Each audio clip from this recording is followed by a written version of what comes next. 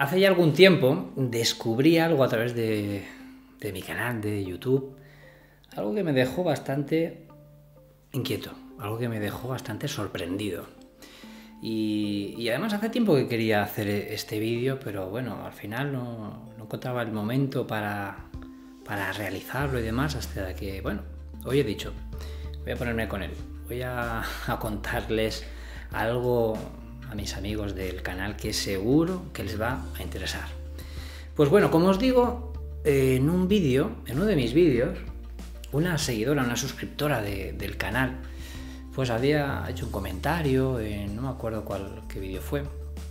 Bueno, esta, esta usuario, llamada Dana, pues tenía un, un, canal un tanto peculiar. No sé cómo, pues entré y allí vi pues las siglas de ASMR. SMR. Yo digo, pues bueno, no, no, sabía lo que era, ¿no? Y entonces, bueno, pues cojo y me pongo a, a darle a uno de los vídeos, era un poco allí como un poco siniestro, ¿no? Era un poco raro, y me topo con alguien, con una persona, con una chica joven, hablándole muy cerca a la cámara y que hablaba muy bajito estaba susurrando, pues casi no lo, oía, ¿no? Estaba con el ordenador, le di el volumen a tope y me quedé, o sea, digo, bueno, ¿qué pasa aquí, no? Eh, es que pensé que a lo mejor estaba molestando a los vecinos, sus padres estaban durmiendo, qué sé yo, cualquier cosa, ¿no? Pero el caso es que se acercaba mucho al micro, iba hablando así flojito, iba hablando bajito, casi no se entendía nada.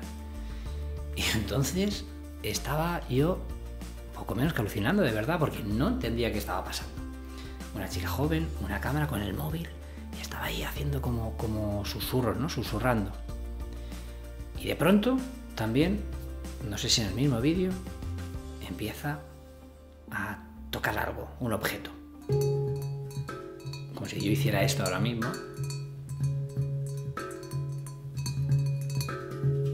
Empieza a tocarlo. Y bueno, yo me quedé un poco pues como perplejo, ¿no? Sabiendo, intentando saber qué era aquello. Vi otro vídeo en el cual también volví a hacer lo mismo, esta vez con, con sonidos muy cerca a la cámara.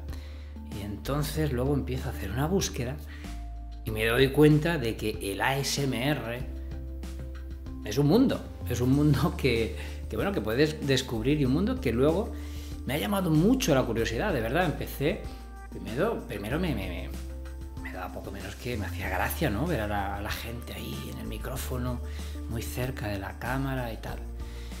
Y, como digo, me quedé muy, muy sorprendido, ¿no? Pero bueno, eh, ¿qué es? ¿Qué es el ASMR? La respuesta sensorial meridiana autónoma. Eso sería eh, la traducción al castellano de las siglas en inglés. Y bueno, pues científicamente, ¿Qué, es el ASMR? Bueno, pues si recurrimos a la ciencia, podremos ver que el ASMR no está contemplado como tal. Bueno, y es que no hace falta, eh, diríamos, acudir a la ciencia para, para que os explique un poco mi punto de vista. Yo, ya que va a ser algo bastante personal, y además también vamos a tener varios vídeos de varias ASMRistas, como se hacen llamar, que os van a explicar qué es el ASMR. Pero bueno, básicamente es una, una sensación es una sensación bastante curiosa que se genera mediante la visualización y la escucha de un vídeo. Para mí, bajo mi punto de vista, no me cabe duda que se debe a una respuesta neurosensorial debido a las neuronas espejo. Neuronas espejo, pues eh, que sí que las contempla la, ciencia descubiertas en 1996 y que bueno, lo que hacen esas neuronas que se descubren en ese momento es que seamos personas empáticas, es decir, como cuando vemos a una persona llorar y nos transmite esa pena, nos dan esas ganas de, llorar, o como por ejemplo, fijaros ¿no? la potencia que tiene ese tipo de, de neuronas en, la persona, ¿no? Y lo que nos hace también ser tan humanos. Cuando a lo mejor a alguien le sangra, se hace un corte en el dedo, tiene, o tiene algún tipo de, lesión en lo cual está sangrando, y hay personas que son muy sensibles a esto, ¿no? Y lo que le provoca incluso es el desmayo. Imaginaos la potencia. Pues esto lo hace esa respuesta neuro, neurológica en, en las personas. Pero bueno, así que sin, sin más también quiero que os lo expliquen varias personas eh, que practican el ASMR y que también, por supuesto, por supuesto os voy a, a recomendar su canal. Vamos a empezar, yo creo que primero por Adi. Adi es yo creo que una de las más jóvenes que he encontrado dentro de la SMR y que bueno, pues ahora además ha hecho un canal nuevo, tenía un canal pues más, más humilde por así decirlo, donde hacía videoblogs y demás y ahora parece que se va a centrar un poco más en esto, con más calidad y demás. Así que mejor que os explique ella pues su punto de vista y qué es lo que para ella es el ASMR. Hola, buenas, ¿qué tal? ¿Cómo están? Espero que estén todos muy bien. Bueno, yo tengo la oportunidad también de participar en este video de qué es el ASMR, gracias a Copérnico. Yo soy la dueña, de alguna manera, del canal Tu Momento para Respirar. Obviamente me dedico a hacer videos de ASMR. El ASMR se desarrolla siempre en la niñez. Se desarrollan desde los oídos hasta la nuca. Hasta hay personas que se le pone la piel de gallina. ¿Por qué son susurrados? ¿Por qué se hacen tapping? ¿Por qué esta modalidad de variación en sonido? Porque cada uno también, como les digo, tiene una afinidad distinta a distintos sonidos. Cada vibración del sonido le, puede producir ASMR o el ASMR negativo. Le produce a la persona ansiedad, desea sacar el video porque no lo soporta, eso es el ASMR negativo. Si ustedes ven videos ASMR y no lo pueden entender y no lo pueden soportar, es porque son del gran porcentaje de la población que no tiene ASMR. Como las personas que tienen cosquillas y no tienen cosquillas, creo yo, es bastante similar a lo que es tener o no tener ASMR. También quiero aclarar algo que me parece muy importante, es que el ASMR nunca va a ser sexual, erótico o tampoco va a ir orientado a algo perturbador oscuro. Esto quiero que sea importante aclararlo porque van a encontrar videos de todo tipo en YouTube que digan ASMR y que no necesariamente van con la finalidad de generar ASMR, porque como yo les digo, el ASMR se desarrolla en la infancia, entonces nunca va a estar en afín con algo erótico. Por ende, sepan discriminar cuál es el video realmente que puede llegar a ocasionar ASMR y cuál es un video que no tiene nada que ver a esta temática. Así que bueno, eso es todo. Espero que se pasen por los videos ASMR. Ojalá que encuentren unos videos que los puedan disfrutar.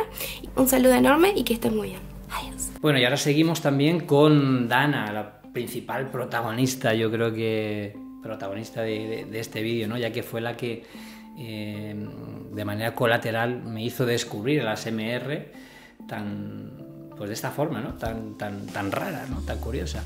Y ella pues también tiene un canal dedicado al ASMR donde se practica pues además diferentes eh, modos, porque también hay diferentes variantes ¿no? dentro del ASMR.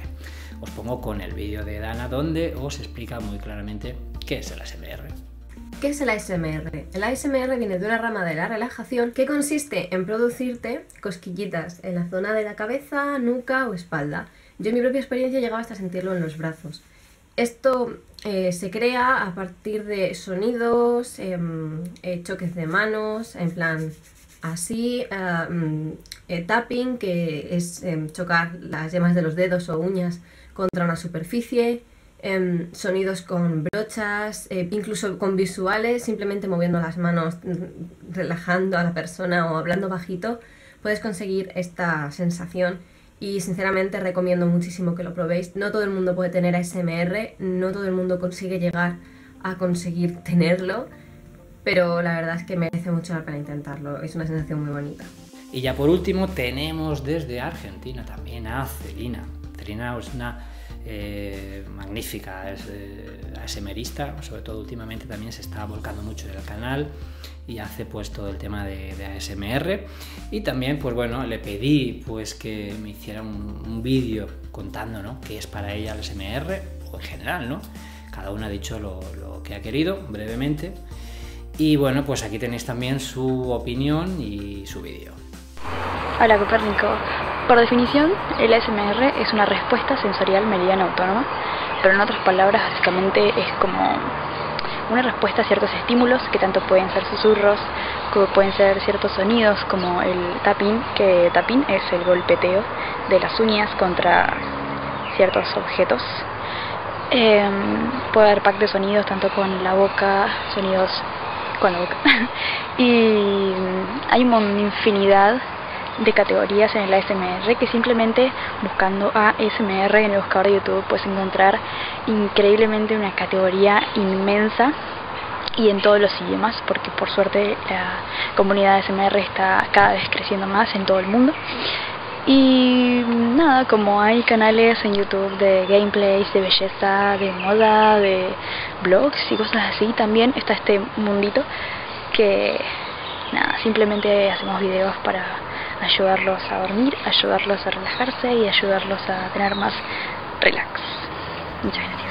Bueno, pues ya, ya habéis visto, ¿no? Que desde luego mm, es algo que se basa en sensaciones y que parece ser que no todo el mundo las tiene. No todo el mundo siente ASMR. Y yo desde aquí, la verdad que me gustaría que en los comentarios dijerais, ¿no? A lo mejor que entres, que entréis en el canal de Celina, de Avi o de Dana y que probéis, ¿no? A mirarlo y tal, estando, estando en un entorno mm, pues bastante tranquilo, ¿no? si estáis ahí en un sitio que no, pues no, no vais a pillar el, el, rollo este ¿no? que tiene el ASMR.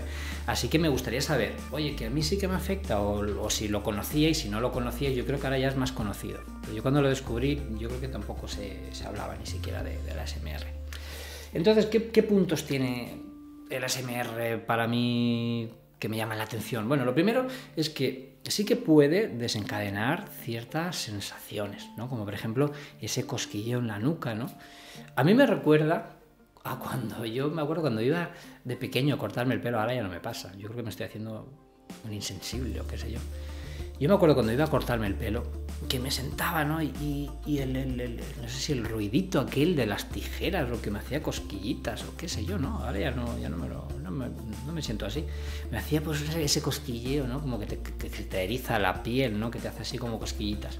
Pues eso es lo que en alguna ocasión se puede sentir con el ASMR, ¿no? Es lo que principalmente se, siente. Aparte, una relajación. Los vídeos de ASMR, pues principalmente su, objetivo es relajar a la persona, ¿no? Y quedarse ahí, ¿no? Pues incluso inducir al sueño. Entonces, mm, vuelvo a decir que hay varias, eh, ¿cómo, diría, no? Varias, eso, varias categorías. Está el tapping, el tapping es lo que habíamos hecho antes, ¿no? De tocar objetos, está el tapping, eh, está también los role, los roleplays, que es como una simulación de, una historia de ficción, muy conocida, típico como, como una enfermera que va a revisarte los ojos o los nervios craneales, no sé, cosas muy, muy, muy originales, ¿no? Yo creo, para sobre todo aquel que, que, cuando uno lo ve por primera vez, pues es bastante original. Entonces hay un como el roleplay es eso, ¿no? La, la, ASMRista que hace el ASMR en este caso, pues emula ser una enfermera, emula ser una persona y que tú eres, diríamos, el protagonista. Y entonces en el micrófono va, va sucediendo una serie de cosas para que produzca en ti una serie de, de reacciones. Em, ¿Qué más? Luego hay palabras también, incluso si veis idiomas que son en, en otro idioma, en inglés o demás, palabras ¿no? que, que hacen que parece que tienen una cierta, no sé, detonan ¿no? algo en nosotros. Y luego si os fijáis siempre, ¿no? la mayoría, pues yo creo que la, tónica general o la, la, clave principal es que siempre se habla susurrando al micrófono. Es algo ¿no? que es lo que da ese gustierrenín, no lo sé, es eso, ¿no? El que se habla así.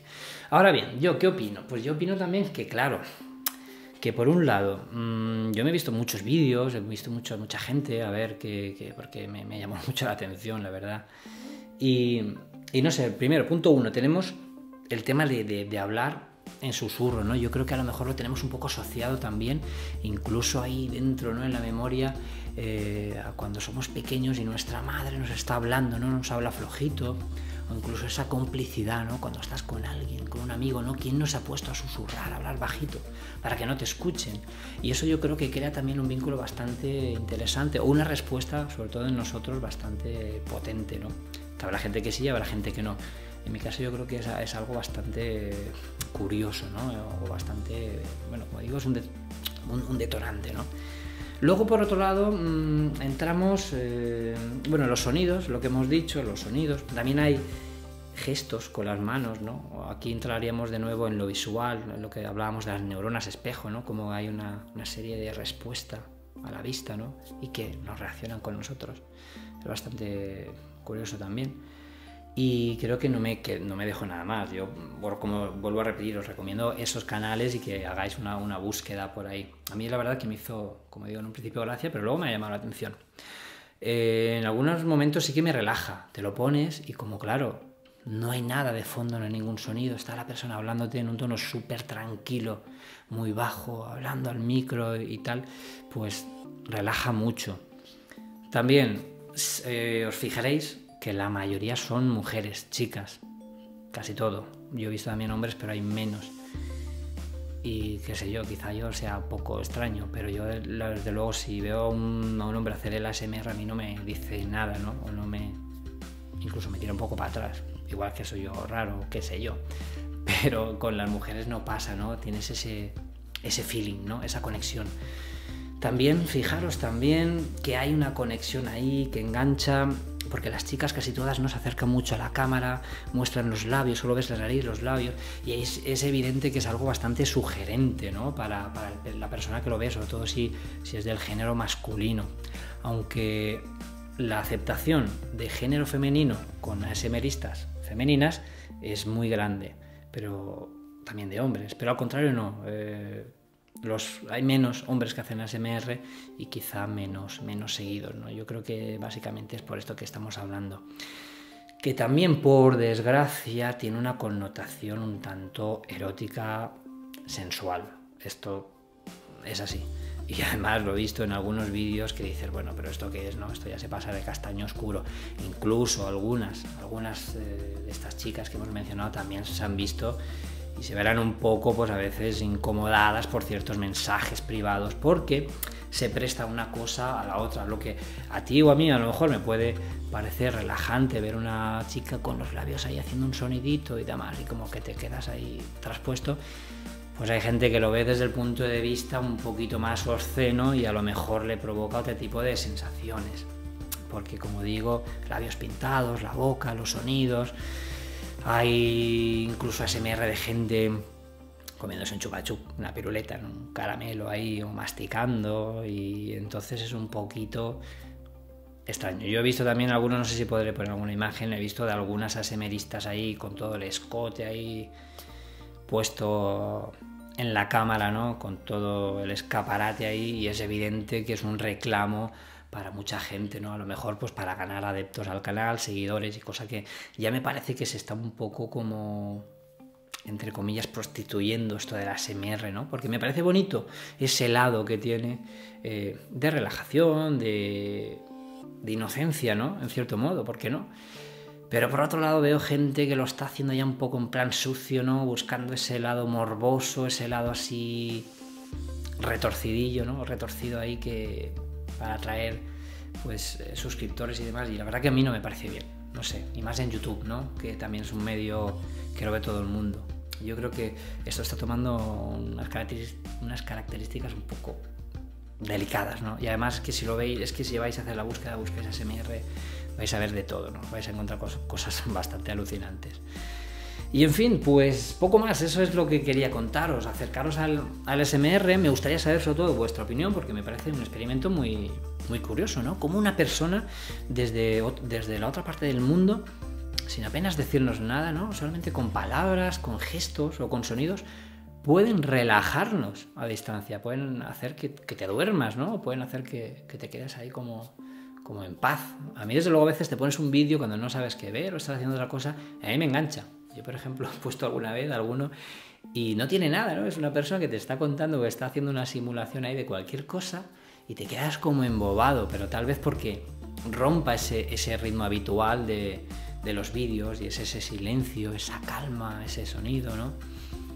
Yo creo que nos recuerda a cuando éramos pequeños, en cierta manera. No sé vosotros a ver qué, qué opinaréis. Pero bueno, Así que ya os digo, yo creo que es una cosa bastante sana, interesante probarlo. Si queréis alguna vez desestresaros, lo ponéis.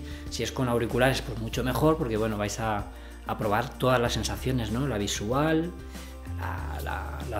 y, la, sonora, bueno, en este caso, ¿no? La visual y la, sonora.